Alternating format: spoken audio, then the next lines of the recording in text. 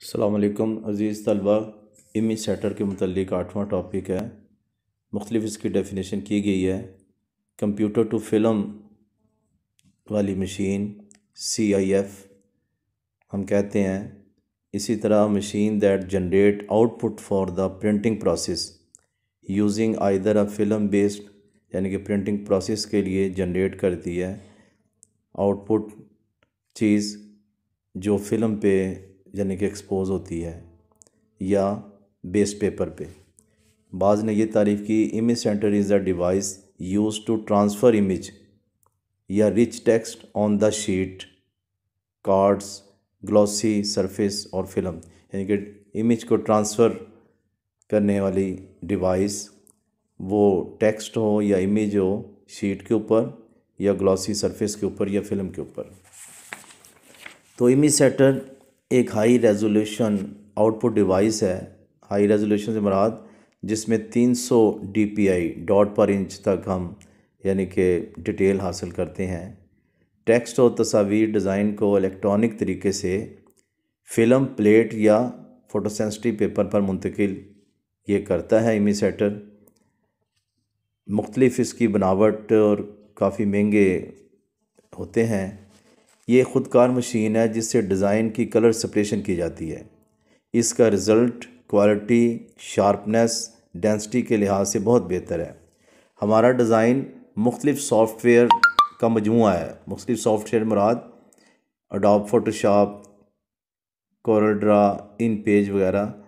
तो डिज़ाइन हमारा इन चीज़ों, सॉफ्टवेयर के, यानी कि मजमू से बनता है। डिज़ाइनर डिज़ाइन के साथ registration mark grip margin imposition numbering यानी कि एक पेज या दो screen rolling screen angle trapping trapping से मुराद कि जब एक तस्वीर दूसरे यानी कि खाली जगह में आनी होती है तो उसके में हम यानी कि उस तस्वीर को कुछ बड़ा कर देते हैं, ताकि वो साइडों से सफ़ेदी नज़र ना आए। इसको ट्रैपिंग कहते हैं। ये अक्सर यानी कि आप अगर मेडिसिन की बोतलें वगैरह देखें तो उसमें ये चीज़ होती है।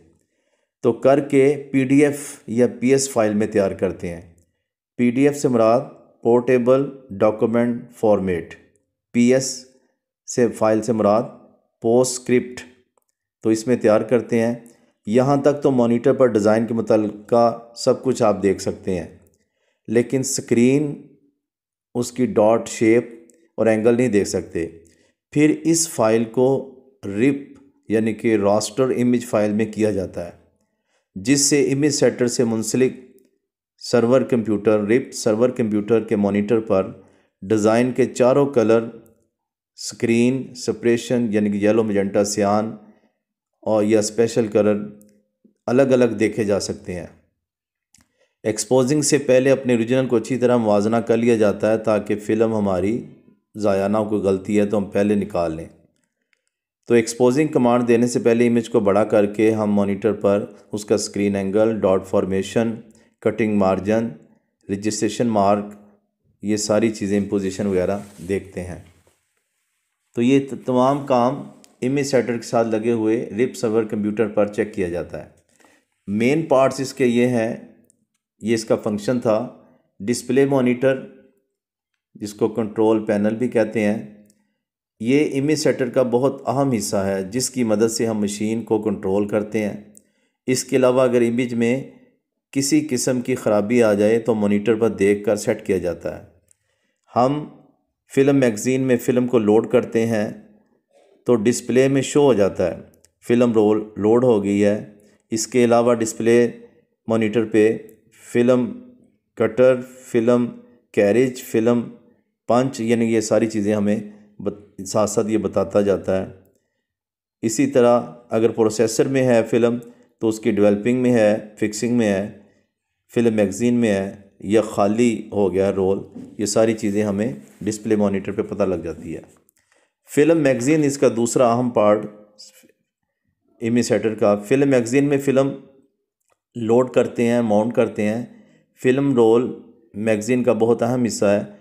अगर फ़िल्म मैगज़ीन में सही तरह सेट ना हो तो ये डिस्प्ले में एरर की सूरत में मैसेज देता है। फ़िल्म रोल को फ़िल्म मैगज़ीन पर मैनुअली लोड किया जाता है। फ़िल्म रोल मुख्तलिफ़ चौड़ाई के हैं, जो कि 10 से उनचास इंच तक होती है चौड़ाई और लंबाई इसकी 200 फुट तक। इसी तरह तीसरा पार्ट इसका फ़िल्म सिलेंडर पर ख़ुदकार तरीके से फ़िल्म मैगज़ीन से निकल कर फ़िल्म सिलेंडर पर माउंट हो जाती है। हम, यानी कि फ़िल्म मैगज़ीन में लोड करते हैं, अब ये फ़िल्म सिलेंडर पर माउंट हो जाती है।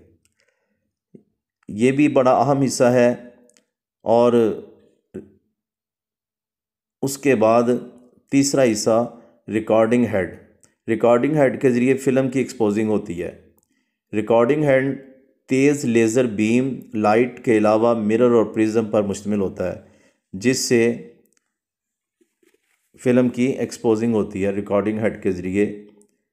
तो इसके बाद वैक्यूम पंप यानी कि ये मुख्तलिफ़ रेजोल्यूशन में हम रिकॉर्डिंग हेड काम करता है। जितनी ज़्यादा रेजोल्यूशन होगी, उतनी ज़्यादा क्वालिटी और डिटेल बेहतर होगी। तो ये हम, यानी कि उसके रिकॉर्डिंग हेड के चलने पर इनसार है कि हमें कितनी रेजोल्यूशन चाहिए कंट्रास्ट ज़्यादा चाहिए या डिटेल ज़्यादा चाहिए? ये बिल्कुल अपोजिट चीज़ें होती हैं। वैक्यूम पंप ये भी इमेज सेटर का बहुत अहम हिस्सा है। फ़िल्म सिलेंडर जब रोल होने के बाद वैक्यूम पंप की मदद से फ़िल्म और सिलेंडर के दरमियान जो है हवा खारिज की जाती है ताकि अच्छी तरह कॉन्टैक्ट हो जाए। इसी तरह एक्सपोजिंग के दौरान फ़िल्म अपनी जगह से मूव ना हो सके। वैक्यूम पम्प का काम फ़िल्म को सक करना होता है। और इसके अलावा फ़िल्म के ऊपर ज़रात को ख़त्म करना। इसके बाद फ़िल्म, ये इमेज सेटर का अहम तरीन हिस्सा इमेज सेटर प्रोसेसर है, जो सारा हमने रिकॉर्डिंग हेड के ज़रिए एक्सपोज किया, ये सारा यानी कि डिज़ाइन वगैरह। तो एक्सपोजिंग के बाद प्रोसेसिंग यूनिट में ख़ुद का तरीके से फ़िल्म चले जाती है उसका पीस तो यहाँ डेवलपिंग वाशिंग और फिक्सिंग और ड्राइंग यूनिट लगे हुए हैं। ये ऊपर इसकी तस्वीर में उसका अंदर वाला हिस्सा दिखाया गया है और ये बाहर उसके ऊपर वाला हिस्सा। तो इसमें ऑटोमेटिक तौर पे यानी कि डेवलपर जो एक्सपोज फ़िल्म है, उसमें यानी कि पहले डेवलपिंग होती है, फिर फिक्सिंग और फिर वाश और फिर यानी कि ये ड्राई होके बाहर आ जाता है। तो 20 डिग्री सेंटीग्रेड वेल्पर का टम्परेचर रखते हैं या 68 डिग्री फ़ारेनहाइट।